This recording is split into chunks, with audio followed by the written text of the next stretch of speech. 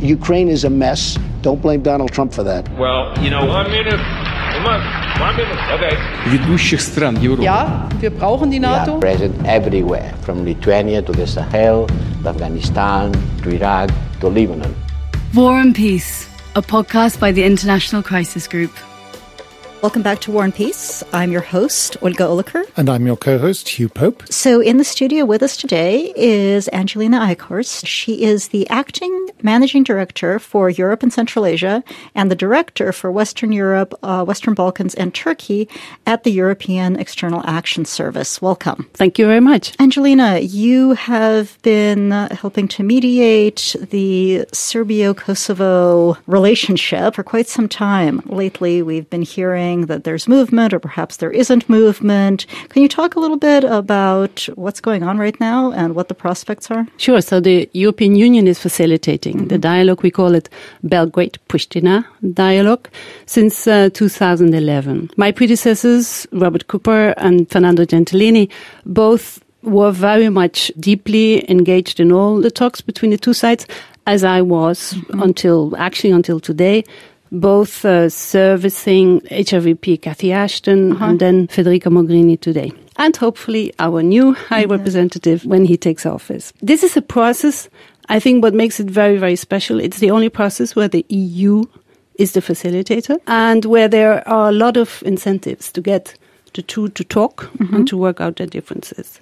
And this has worked for quite a while, I must say, because they concluded so far, well, at least more than 30 agreements small agreements, mm-hmm. technical agreements sometimes, but everything is really political in that whole dialogue. What we saw last year, I think it's now almost a year ago, one side, Pristina, that decided mm-hmm. to put tariffs on goods which come in from Serbia and Bosnia and Herzegovina. And the reaction from the other side was, we don't come to the table. So we have now for a year already tried to get the parties back to the table. It's not happening. And that makes it really very difficult. As you know, in any negotiation, you really need the parties to get back to the table. And are the tariffs at the heart of the issue, or is it really something else? At the heart of the issue is that both sides need to come up or work out a final, final agreement. We would call it a legally binding mm-hmm. agreement that resolves all the outstanding issues. So you really go deep in the heart of the matter between the two. They have exhausted a lot of diplomatic uh, talks, negotiations, mm-hmm. tracks facilitated by us on a number of areas. But now it's really about where do we end up together? And it's always, when you get really deep into the negotiations, it becomes most difficult. There were internal political reasons in Kosovo why the prime minister took actions, why the government took actions at the time. Today, because there have been elections in Kosovo, I hope really that we can have a new start with a new government in Kosovo and that we can get the talks uh, starting again. So, a year or so ago, there was talk of a land swap. Is that still on the table? There were a lot of talks about a lot of things, mm-hmm. but the point is that both need to agree, as I said, on all the outstanding issues. So, they will, in the final, final setup, they need to agree on how do they work with each other and in which setup as such. I'm very carefully choosing the words because I don't go into particularly labeling of what could possibly part of the mm-hmm. of the agreement. And when we say they need to resolve everything, it's really everything. That's outstanding. Mm-hmm. So recognition, territorial claims, everything they want to put on the table has to be there. You need to resolve the issues. You cannot live on and on and on for years and years issues coming back. You you get into a frozen conflict which is not good, on the south flank of our mm-hmm. borders, of our own, of the European Union, in an, in an area where you really would like to see prosperity, progress, development. The Balkans have a European perspective. We will come to that, yes. I guess, later. It's really, really important that they resolve their relations with their neighbors. Is the Pristina Belgrade dialogue the brightest hope you have in the Balkans at the moment? I mean, we've had ups and downs. Where's your main source of hope for the future of this perspective that you call? At one point, there was a lot of hope, and I'll always keep hope because we are diplomats. But hope doesn't make really plans and doesn't always give the results. But there was a lot of will and space to actually make those things happen between Belgrade and Pristina at some point, particularly when we saw Prespa, when we saw that Skopje and Athens came to a final agreement on their outstanding issues. We thought, okay, let's, you know, we keep the dynamic of resolving good neighborly relations. You know, we keep on working and we keep that steam going. Today, it's different because you still need to get the parties to the table. For that, you need to have the leverage, you need to have the trust, you need to have all the diplomacy working. And we are a little bit at the crossroads of where can we go now with the Balkans, and you know why that is. So I keep the hope because there is really no alternative for the Balkans mm-hmm. than being fully, fully integrated part of the continent and functioning within the framework as we're having it for the European Union. Geographically, historically, there's no other space there. Does that mean eventual membership or does that mean something else? And has that changed? In all the work we have been doing, and when we talk about European perspective, we talk about membership. We don't talk about anything else but membership. The fact is that there are so many questions about how does this process really work? Is it really still attractive? Does it really, really help the transformation we all want to see? These are questions which are today on the table. They were perhaps less on the table in the past, and they need to be addressed. But it is important that, and I think all member states agree as well, that we need to keep that perspective really alive as much as possible.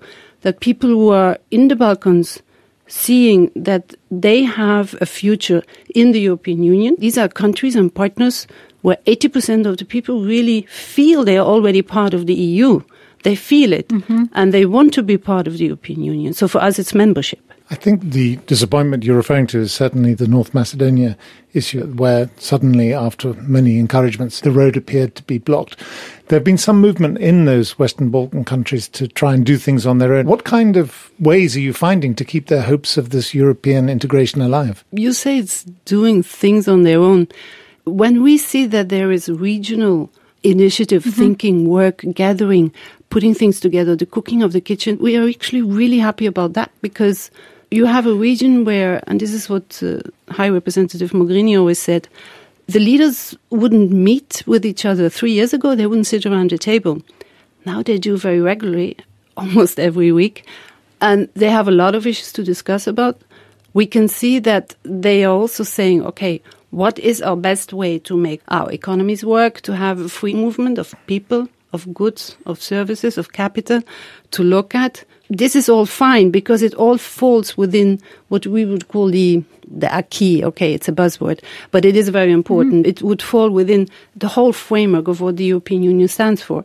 So, if there are not different but special initiatives or special intention to work together, we only welcome that. The point is that a lot of work, and people don't see that in, immediately, has been done already on the ground when it comes to transformation economically, socially, politically, culturally. So when you then see suddenly leaders getting together as such and the European Union is not there at the table, then people start asking questions. But for us, it's only natural this happens as such. Mm-hmm. So that's an interesting point you make, and it's something I've thought a lot about when I look at the Balkans. Is there has been so much foreign involvement in the minutia of resolving conflicts, of planning reforms.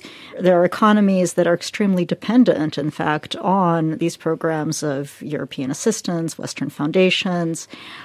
Are you seeing a bit of indigenization in a real way? Is it a shift? And why not? Mm-hmm. I'm, I'm, not sure it's a shift, but it's sort of the coming out of all these years of investment. And as you say, mm-hmm. I mean, nowhere else than in the Balkans we have been investing so much. I'm not talking financially, I'm talking in terms of the diplomatic work, the security, all the instruments and all the all the issues we have at hand to use within the European Union, we deployed it in the Balkans and we still do. And for good reasons. Now, seeing that sort of being used because many of the leaders tell us this is about us.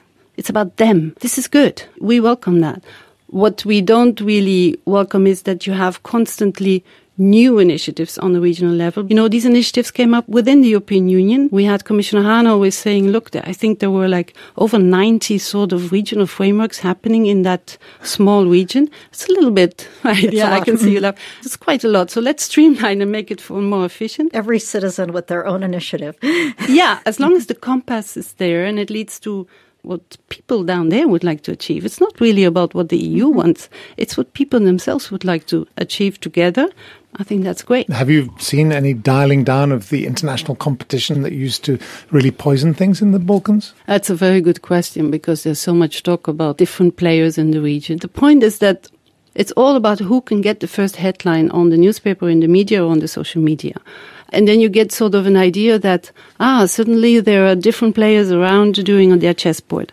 The European Union has been there from the very, very start until today in the most massive way possible in terms of investment, economic cooperation, the whole list. But that doesn't come every day in the headlines, right? So when others come in or when other leaders visit, non-European and elsewhere, obviously this feeds into a narrative that, oh, the EU is leaving us and we are now left to others. Personally, from the experience we are having on the ground with all the people we work with, is really we can see that it's not that there is no reason for concern.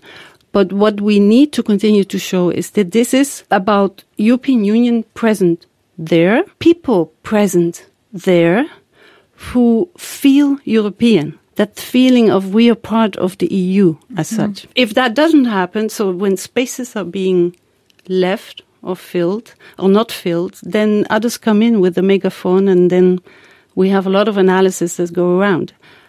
I'm not too worried about it. What I would like is that the message of the European Union remains very firm and very solid and very clear. So, is your sense that the trend lines are towards stability and general improvement, or should we be worried? Um, or both? No, when you look at today, 2019, and let's say five years ago, I would say the trend is absolutely positive. But people forget where the different partners and countries were five years ago. We don't look at that anymore. We forget, even if it's a short history, that that piece of the knowledge is usually missing in the analysis, which is unfortunate. So we always try to look back, and countries, they tell us, people tell us themselves, look, we see, and it's not that I particularly want to take out one of the six, but just take any, any of those. The progress has been tremendous, and we want to keep that as such, but people just don't see it. War and Peace, a podcast by the International Crisis Group. You're listening to War and Peace, and we're talking to Angelina Eichhorst of the European External Action Service. Angelina, I want to change direction just a little bit because you've also spent a lot of time working on Turkey issues and Turkey EU relations, and that has been a fraught path, let's say. What lessons should we take going forward, either in the Western Balkans or with other partners of the European Union? What lessons can be learned from the experience with Turkey? It's a very complex question. It's a very tricky question as such, because we all know where we are today in a relationship that lacks, if you like, clarity at all levels. There's a lot of good political will to make sure that the relationship European Union Turkey is beneficial for all. But then you also need to have the right signals at all levels. And diplomats, we work with signals, we work with our interaction, we do the analysis, we do the judgment, and we try to see where are the different sort of points we really, really need to focus on much more. And for the moment, there's far less to work with than before with Turkey mm-hmm. because Turkey actually is that very country where I said earlier in the Balkan we deployed all our instruments, but if you look at our deep relationship, European Union Turkey, it's so vast. It's also very long standing, longest candidate country, NATO member as well. So we have also have the security in there. Today, I believe that the question really is where can we find in our relationship the elements we can really work with where we find it's a win-win for both. And where all the nuisances we have on our different sides what can we still make out of this? Because european union wants to have a good relationship mm-hmm. with turkey. Of course turkey is a candidate country but turkey is very important in all our relations for the region as such as well. But also it's about the internality. What does the turkish leadership want for the turkish people right? What is the vision for your country in the future? Can we make sure that we are in that neighboring relationship and in the relationship we have, we can get the best out of it? It keeps us quite busy, you're absolutely right, particularly with what happened recently in North Syria, but even before what happened in the East Mediterranean and elsewhere. You saw the reactions of the member states of the European Union. Where are the positives in all of this? Where are still the positive elements we can work with? Where are they? we are working on the whole spectrum mm-hmm. of the relations. I mean, such. the Syrian refugee crisis seemed to be an area where at least there was an agreement reached, though it's remained a bit tense. What do you think are the prospects going forward, particularly given how Turkey's involvement in Syria has evolved? I'm not sure that enough people in Europe realize when you host three and a half million, four million refugees, how much it does to your country. Absolutely. And you can have 100 million people living in the country, 50 or elsewhere. You know, I served in Lebanon. I know how very, very difficult it is when almost half of your population consists of refugees who have exactly mm-hmm. the daily needs like everybody else has. And for Turkey hosting, we've always said how important it is. We have facilitated the finances for it. We will continue to do so as EU. But this is a very, very important element to keep in mind. Sometimes people forget. And I believe that should be at least part of the list. That's basically number one, where we say it's very, very important to recognize the responsibility Turkey has been taking. Would you on, say on that, that the six billion euros has been well spent then? The six billion euros is this is the six billion euros that Europe had provided Turkey to help with uh, the care and feeding and support yeah, of the refugees. We have member states have made available, and also from the budget, two times three billion Mm-hmm. as such, which is a vast number. It's not enough as such. But we have decided to help through the United Nations and through civil society and other organizations on the ground in Turkey to provide for the basic needs and protection for almost 4 million refugees. We believe it's well spent because it goes directly into the needs of the refugees. It's also a mechanism or it is a way of spending that actually has had a very different way of working, like quick spending, as efficient and as, well, as I said, as fast as possible. I'm saying it because it's quite unusual. Usually it takes a lot more time to mobilize and get this money going from the EU. And that money the way it has been spent so far, that is really well spent. The point is that Turkey always says it's not enough, or it is too slow, or it doesn't go where it is. But we can see with all the assistance that has been provided that it has really met the purpose. More money is needed because the refugees are still there.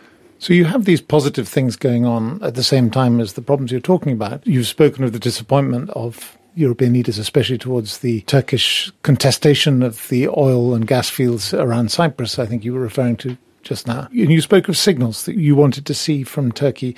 What signals from Turkey do you think would persuade European leaders that it was time to get engaged or to renew that effort with Turkey? Well, for one, and it comes always back to the work we do as diplomats, you want to see the conversation going on the issues where we would normally depart.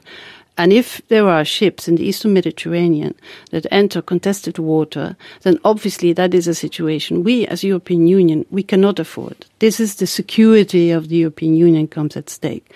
And then obviously you don't want to have signals that go into threatening the security of the European Union. You're referring to open the borders and send the refugees in? But these are statements which I find extremely unhelpful. We understand why they're being made. They're being made also basically for inside Turkey. Mm-hmm. But this is not something we, if we really want to look at the positives, as I said, can work with. I call it the megaphone. What is much more needed is on a basis of respect for each other, of trust also of each other, that you have the conversation going on the issues where you actually do seem to differ. Then you need to have that dialogue, that work together as such. One of the things that I remember from my 30 years in Turkey was the, one of the happiest days in the whole time. There was that day in December 1999 that Turkey became an official candidate to join the European Union. The front pages of the Turkish press were cleared, and it was a beautiful moment of happy faces and happy editorials, a real sense of mm. purpose in Turkey.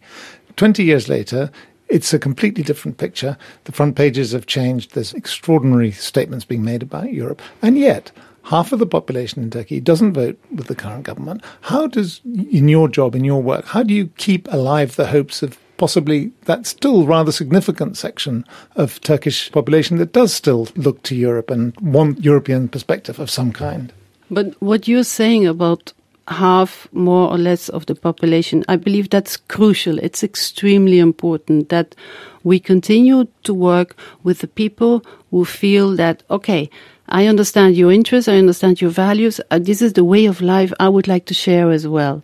You know, you can call it the European way of life. I don't need to brand it like that, but it's more that you really feel you're very, very close to the people. And I'm convinced we are. But at this point in, in time, to get that message across inside Turkey is a huge challenge for us.